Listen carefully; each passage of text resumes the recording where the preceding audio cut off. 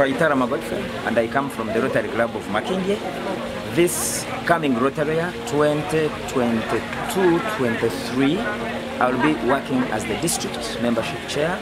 The district membership chair is responsible for the district's growth, retention and recruitment and everything. Today we were meeting our district governor elect, uh, Honorable Mike Ssebalu, who invited us to come and share. What does this mean? That he's meeting the team that is going to work with come next Rotary year, 1st July 2022. So as a membership chair, I am happy that I've met people I've never met, but people I'm going to work with, especially the president-elect, people are going to be presidents next year. Because as a membership chair, I'll be working closely with the presidents and other district officials. So this is very important that we meet, discuss and agree, and then see how the district is going to move forward. I want to begin by thanking God that this day has come to be with all of you in good health and physically here as in your personal capacity. We have a few that have uh, sent messages of apologies, but having you, this number, I'm really, really, really encouraged and energized because belonging to a serious team is the best thing that you can have as a leader. So I decided that we have this meet and greet as it is uh, properly put there so that the leaders get to know each other, know one another, and get to appreciate and understand and cherish one another. So I really want to thank you for having accepted. Definitely you may have gone through a lot of inconvenience to be here. The jam can be very disturbing, but the fact that you are here is something good to write home about. I simply wanted to interact with you in your home. This is going to be your home for the Rotary year 2022-2023. For any reason you need some kind of support or anything, or even just to branch and wait for the, the jam to clear, you can always come. So this is your home. That is the reason that I chose that we do it here. We could have done it anywhere in town where it is more convenient, where there are no jams, but I felt that if you're a leader and the people you are working with don't know where you stay, that is the beginning of bad leadership. You begin by opening your home to your team so that for any reason someone is not going to say, you know, I, should, I, I ought to have advised on this, but I didn't know where to get you from. So this is the place. Uh, there is another place again where we will meet. Again, you'll be able to know where else to meet and we do our business. The governor, in the names of Salongo Xavier Sentamu. And uh, I, I, wanted, I wanted to be a bit selfish on this one. I, I needed someone out of the ordinary because there are too many men. So I had to choose a Salongo. So he's going to be uh, the vice governor, and I really want to say that uh, he's been a pillar in my Rotary journey. We happen to have gone to the same school, King's College Budo. We are Salongos, but he's been a pillar in my Rotary journey at different stages. He has been advising me, he has been motivating me, inspiring me, encouraging me. So he's someone who has been there for me as I moved the Rotary journey up to this level. So I really want to thank you and I believe that we are going to work together and be able to deliver uh, good on the promise that we have. As a team, you are something. As a team, you are everything.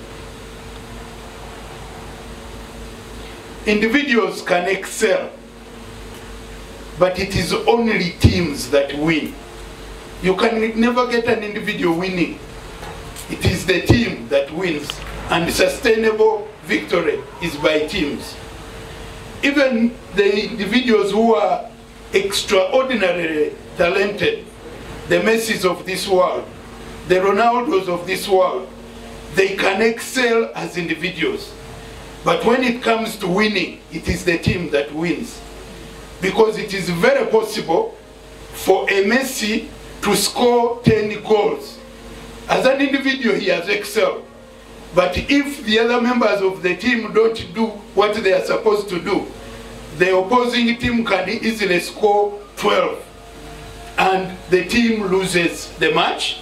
Although Messi as an individual has excelled and he has scored 10 goals. So for the victory to be guaranteed, the individuals can excel, but only in a team and where the team is delivering on their individual responsibilities. So if you score many goals and the goalkeeper lets in more, you will lose the match, although you will have excelled as an individual. So that's why I called you here from day one, so that we don't overemphasize our individualness, but we put emphasis on team. And that is what we are doing today. The introduction was for purposes of each and every one of us knowing the members of the team. You simply cannot play with the people you don't know. You cannot play with the people you don't understand. You cannot play with the people you don't appreciate. And the reason that we are here is to understand each other, is to know each other, is to appreciate each other, is to encourage each other, and begin the team spirit. The idea of the team is the reason that we are here. And it is something we need to start early in the day. That's why we've started by that. And we are going to have a lot of team building. With us, we have someone who is going to lead us in that so that we are able to build a team. Now, a team can only be built on the basis of team spirit, team cohesion, team solidarity, and you can only do that by ensuring there is teamwork as well. Team selection is important. Uh, for each and every one of you, you are here out of that process of team selection. Actually, selecting the team is the harder work, is the most difficult than having a team to deliver. So team selection is quite an exercise. It's not a cup of tea, but we had to go through it. And out of that exercise, you are the best team that we could assemble in the circumstances. So we need to motivate each other. And the, those of you that are presidents, I can never claim that I had a hand in your occupying of the places that you do occupy. But it goes back to my notion of team. You as individuals wouldn't be here if your clubs did not consider you worthy of being the team leaders of your clubs. So each one of us here is an outcome of a process where team spirit and teamwork is something that we can talk about. Now, I want to define team the way we define it uh, in, in, in the corporate world. Team is together, each one of us achieves more. That is the definition of team. T is for together, E is, is for each one of us, A is achieve, and M is more. So together, each one of us achieves more. And I really want to tell you that each one of you who is here is going to achieve more because we are together. Each one of you is going to achieve more because we play as a team. That's why we had to bring you together so that you get to appreciate the different competencies and the skills sets. So that you know that if it is a matter to do with education, the right person to call is maybe one of, among many, is Safina, who is in that sector. If you're an assistant governor, be the best that you can be so that you become a role model.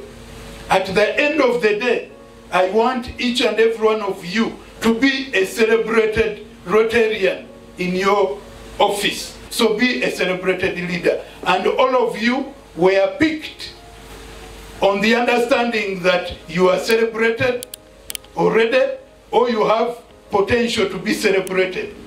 These are the only two considerations. Some of you are already celebrated, but those that are not celebrated now, we saw that they have all the potential to be celebrated leaders. There's no one outside that category here. So be the celebrated leader that we want to have. And let's emphasize that. So out of that, together, each one of us achieves more. I've kind of come up with what will drive us as a team. And what will drive us as a team is a simple expression, working together to achieve more.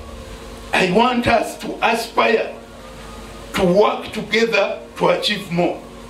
Because when you are together, you are something, as I already indicated, where you are individualistic, you are nothing. So let's work together to achieve more in our clubs, in the dockets that we have, in the zones where we are going to serve, in the district offices and the committees where we are going to serve. Let's work together to achieve more. Let that be the catchphrase in our mind that drives us as we go through the year. Definitely, our president is going to choose a theme which we shall adopt, but at the local scene, as we await for that theme, let's believe in working together to achieve more because we know that team means each one of us uh, getting more, achieving more. And this is also informed by the new vision statement of Rotary, where we talk about together we see a world where people unite and take action for purposes of causing lasting change across the globe, in our communities, and in ourselves. So again, the togetherness is uh, a, a, factor that we need to use. We've already united under this tent, and we are together, and we want to see a world, uh, you know, that is changed drastically, lasting change. As a president, make that lasting change. As an AG, make the lasting change. As a district officer, make the lasting change. So that you fit into, we work together and achieve more, so that you also fit into the notion of team, uh, so that then we are able to play a great role. Now, in order to do that, there are three P's we need to appreciate. The first P is purpose. What is the purpose of your being in the office that you are? You must have a purpose. And it must fit into the collective purpose of the district. We have our strategic plan, we have our work plans, but that purpose must define your decisions, your actions, and your engagements. And that must be something that you appreciate. The second are the processes. The second piece process. What do you go through in order to achieve the purpose? Because without process, you cannot, you cannot live long enough to achieve the purpose. So you need to go through the processes. We are going to have training, we have instruments, we have policies, we have procedures. You have to use all of them. You have to enrich your knowledge base. Be a leader with a knowledge base. It is very risky to be a leader without knowledge because then you appeal to authority.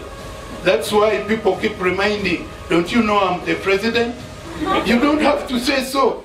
If you're doing the right thing, I don't have to be reminded that you're the president. But without knowledge, without anything, you may have to keep reminding people you are their president, you are the AG, you are the governor. You know, that is because your actions are not feeding into uh, the expectations of the people. So I want a team that is driven by knowledge and a team that drives by knowledge. Being driven by knowledge and driving by knowledge are two important variables that we need to have. So the second P is process. Let's be thorough at the level of process so that we are able to fulfill what we've set out in the purpose. And the final P are the people. There is no way you can have a complete cycle without the people. The people are the team like you are here. You are all part of the people category. But you have the subordinates, the people under you. You have the beneficiaries, the people for whom you serve. You have the, the, the, the, the government in terms of regulation. So whatever we do, we need to go around the three P's. Purpose, process, and people at different levels so that we are able to make good. Now, in order to be able to do that, we need also to apply a few C's that may be useful in this. I call them the, the C principles. One, we need to believe in collective critical thinking. You can do critical thinking at an individual level, but doing it cumulatively at a collective level is also something good to write home about. Critical thinking, when you are faced with a situation, try to think out of it. Don't use emotions. Don't use just the energy to get out of uh, difficult situations or leadership situations. Let's be critical thinkers as leaders. The second C is for us to engage in continuous learning. Make sure in any audience where you are, you pick something for the day. Every day have a take home in whatever situation you are so that you enhance that notion of continuous learning. Because every day we continue learning. Today I invited you so that I can learn from you as members of my team. If there is anything by God's grace that you can learn from me, please take it as well. Because we are here to learn from each other and learning is a continuous process. The third thing is communication. Be effective at communication. Without communication, nothing much can happen. Even good things can happen without being known. I, I have issues at times with my, with my government or our country. There are so many things we do as a country, very good things, but we never go out to speak about them. And you find other people picking our blueprint, renaming it, and claim authenticity of uh, those kind of programs or whatever. So communication is important, both internally, communicate with your internal public, communicate with your external public. Communicate within the club, communicate outside the club, communicate within the district, communicate outside the district. So that C is also important. Another C is consultation. You gain a lot by consulting and you lose a lot by not consulting. Something that may appear very complicated may be made so easy by a phone call or by a hello to uh, a friend. So consult, you don't lose anything. You get free knowledge. Some of, that's why consultants are earning heavily. But in Rotary we can earn a lot of knowledge and information by just consulting colleagues from their different core competencies. And we enrich our own capacity. Let's do that as leaders using the resource base that we have. Be cooperative. Cooperation is important. The idea of uh, seeing yourself in yourself and not anything in any other is defeatist and selfish, and it may not give you the desired results. So as clubs, let's cooperate. Let's work together, even as individuals. The other is collaboration. Let's be collaborative. Let's collaborate and be able to build synergies and be able to deliver. You can consolidate the gains that you've had across board. And the final C is celebration. That is why we have uh, uh, my brother Geoffrey, who is already on duty. Because at the end of the day, we have to celebrate the different achievements through the year. And uh, can uh, Geoffrey stand up for recognition? Oh, yeah, he's on the phone call. Because he's there to prepare for our celebration. Because each and every one of you will have that moment of celebration as an outstanding AG, as an outstanding district officer, as an outstanding president. So all of us have to celebrate. That's why we have that kind of officer. And the areas that we want to consider for celebration are the following. We need to leave more clubs than we find when we take office. And I've already shared with the presidents Uh, the, the presidential team coordinator is yet to arrive, but the presidents are already networking. We've had audience with them. We continue engaging. I'm encouraging each one of us, each club, to mother another club, individually or collectively. You can work with another club, two, three clubs, and you mother club. But at least at the end of the day, I want each and every president to be associated with the process of founding a new club. If you can do it by yourself, well and good. If you can do it through collaboration, well and good. But each and every president must be seen to be associated with the process of founding a new club. Because what I want to see as governor at the end of the day is that I'm the second governor. We've had our pioneer governor, John Magezi Ndamira, uh, who will be joining us later and who sent apologies because he's on duty. He's uh, having a club visit and a launch of another uh, important Rotary event, but he will be joining. But he has done great work. Pioneering anything has never been easy. He's been a great leader, pioneering and laying a great foundation. And he's going to leave, no doubt, a very strong club. And I consider myself lucky to come after someone who has done great work. Mine will be the easier way of consolidating the gains and trying to take it to another level. So he's leaving many clubs. And we need to think already, I told the presidents, they need to think about areas where we need some new clubs. And already some presidents are scouting around, looking for places where Rotary can thrive uh, so that they can start. Because the idea behind that is that at the end of my tour of duty, the best case scenario that would really make me feel good is when the conversation of redistricting is beginning. I want the conversation of redistricting to begin with the second governor. I'm talking about conversation. And you know what brings a conversation?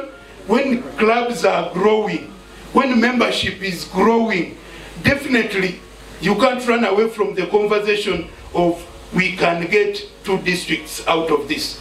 Now that is the stimulus that I want us to put in the district so that at the end of your tour of duty, the conversation around starting a new district out of District 9213, that conversation begins. Uh, we need to look around and going back to the theme of uh, working together to achieve more.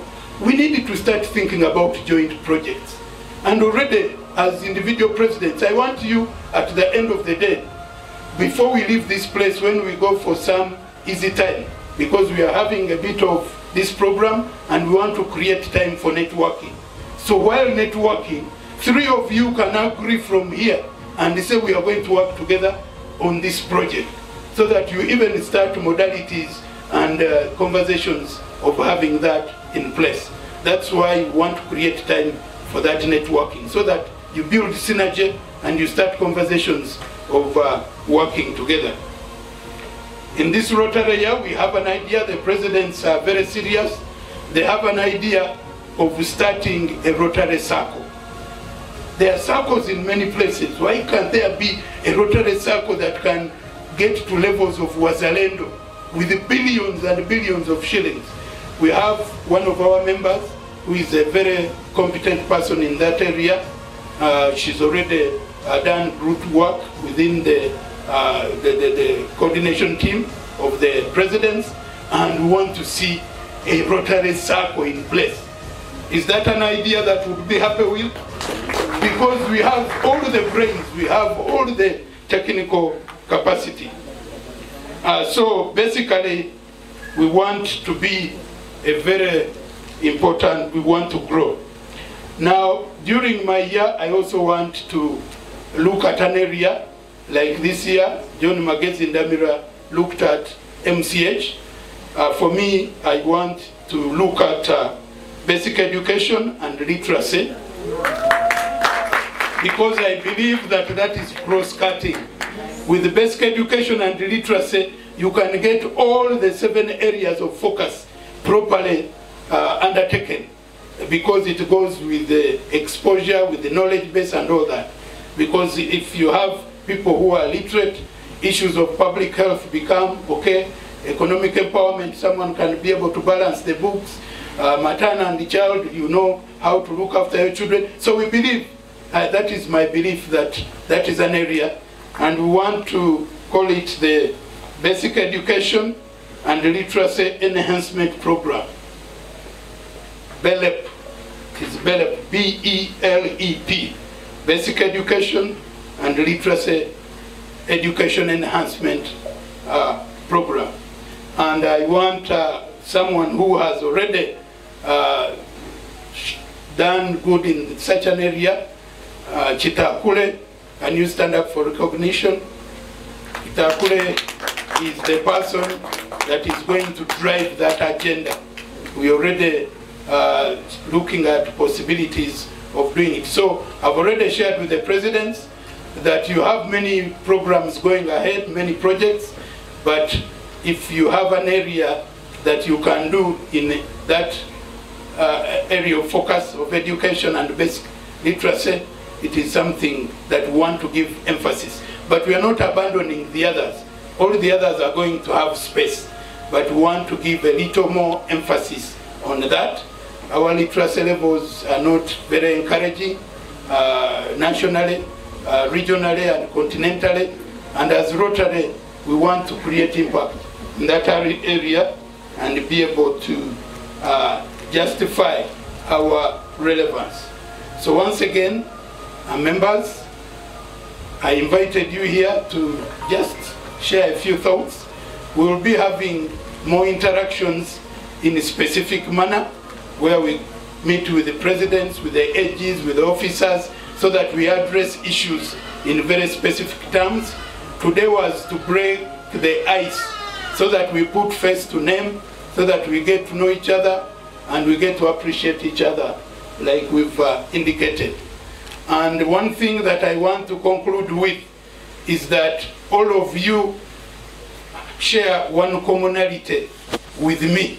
I take you as my friends. At least for me, I know you are my friends. You may have other ideas, but for me, but for me, you are my what? My friends. And I'm here with the friends. That is number one. The number two is the trust. I trust each and every one of you. Unless you choose to do otherwise. For me, uh, you owe and you won my trust. And that way, I believe we can work together. And three, belief. I believe in your action. I believe in your endurance. I believe in your commitment.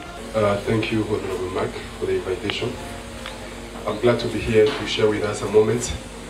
Uh, I was asked to just come and share something with us, so we'll do it twofold. One is experiential, another one is an engagement. So I came with a colleague of mine, he's called uh, Coach Herbert. He does a lot of experiential team building, so we'll do a bit of a team building just to get to know each other better. It's a meet and greet. Uh, we'll jump a little bit out there and then we come and sit. Is that a good idea? Yeah. Okay. So someone told me when you go in a place, people are of two kinds. You are either wise or you are otherwise. No, I don't know. Ju- just look at your neighbor. How are they looking now? Are they looking wise or? The opposite of what I say and do what I say. say the opposite of what I say and do what? What I say. If I say jump left, you say jump right. But you jump right. If I say jump in, you say jump out. Uh-huh, jump in, but you jump out. If I say jump out, you say jump out, but you jump in. Jump left. Jump right. Jump right, Jump in. jump in, Jump left. jump left, Jump left. jump left, Jump right. jump right. Jump out. Jump out. Jump out. Jump out. Jump in. Jump in. Jump right. Jump right. Jump left. Jump left. Jump left. Jump left. Jump in. Jump in. Jump in. Jump in. Jump in. Jump in. Jump out. Jump out. Jump left. Jump left. Jump right. Jump right. Wow, clap for yourself. You the.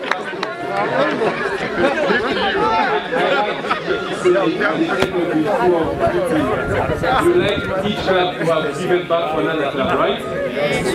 Is that instruction well taken? So I believe you guys by the end of 2023, you have multiplied or added one more club to each one. Say the opposite of what I say and do what I say. Jump in.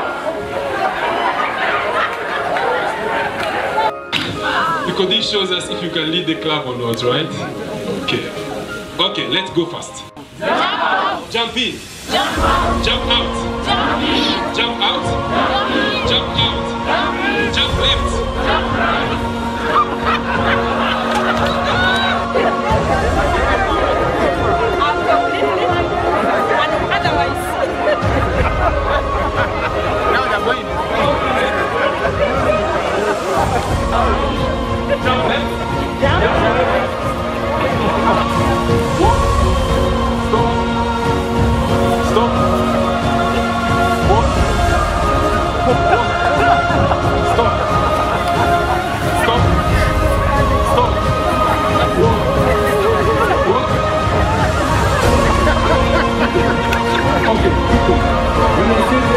then to stop. Now, I'm stopping. If I say walk, you stop yourself. Clap.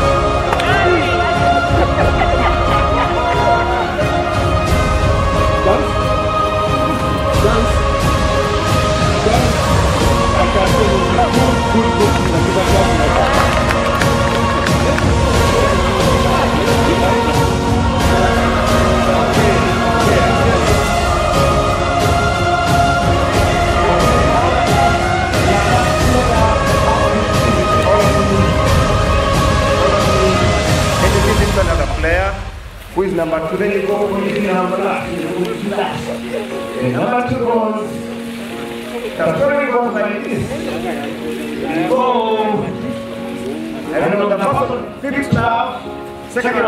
Patience. Tap. We go back. When you way back, you pick one. When you way back, you pick one. The story goes like that. What are they picking? Enthusiasm. They have picked enthusiasm. All dressing on rotary. Good. The story goes like that. Go, go, go back with them. Number please come back. Number please come back. Come back. Take them back. Now the last player, when you dress on the last, on your pick here, you have to carry all of them and come with them on the head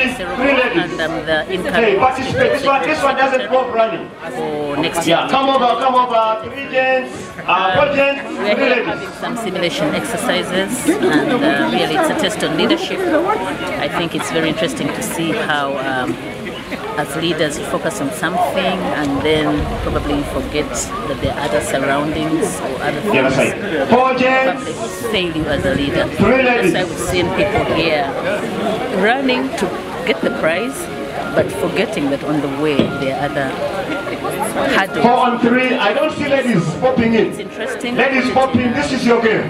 Games Ladies perspective. pop. This is your game. Um, I think that's when we This is your game, ladies. Come over, come over. through games, and it's really interactive. We are just here for it and great. Are we making a number seven? We'll be working this One, two, district. one, two, three, It's four, very for us that we One, two, three, four. after Hey, a members, popping, popping. Now we know Five. who will be doing I need seven players. governance. We have met presidents here. You- you can. So it's You can, you can recycle. a full day for us. Hi, my name is Michael Boa and um, the, from the Rotary Club of Kampala East. I'm going to be the social media coordinator for District 9213 from the year 2022 to 2023.